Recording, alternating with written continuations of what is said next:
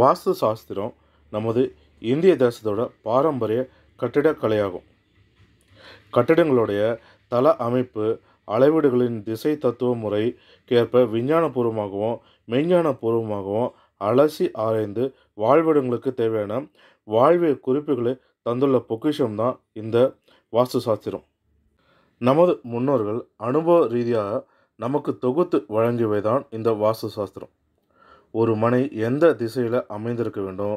அதற்கு எந்த திசையில் வாசல் வைக்க வேணும்? வேண்டும்.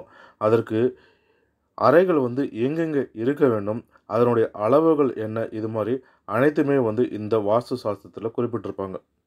அந்த வகையில் வாஸ்து சாஸ்திரத்தில் அடிப்படையாக இருக்கக்கூடிய கருதக்கூடிய பீரோ. இந்த பீரோ வந்து நம்முடைய வீடுகளில் அறைகளில் எந்த திசையில் எங்கே வைக்க வேண்டும் அப்படி வைத்தோம்னா பண வரவு அதிகமாகும். அது எந்தெந்த திசை எங்கே வைக்க வேணுன்றதை பார்க்கலாம்.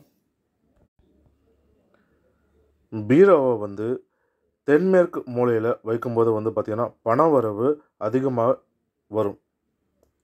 அதே சமயம் பீரோவை வந்து ஈசானி மூலையில் வைக்கவே கூடாது. அதாவது வடகிழக்கு மூலையில் வைக்கவே கூடாது. இப்படி நம்மளுடைய பணம் சேர்க்கும் பெட்டியாகட்டும் பீரோவாகட்டும் எந்த பொருள் நம்ம பணம் சேர்க்குறோமோ அந்த பொருட்களை வந்து தென்மேற்கு திசையில் வைக்க வேண்டும். இன்னும் விரிவாக சொல்லணும் பண்ணால் தென்மேற்கு மூலையில் நம்ம பீரோவை வைக்க வேண்டும். இந்த பீரோ வந்து வடக்கு பார்த்த மாதிரி இருக்கணும்.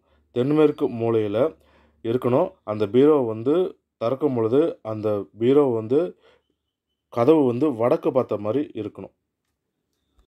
மேலும் இது போன்ற பயனுள்ள தகவல்களுக்கு ஆரம்படைய தமிழ் யூடியூப் சேனலை பார்க்கவும். நன்றி வணக்கம்.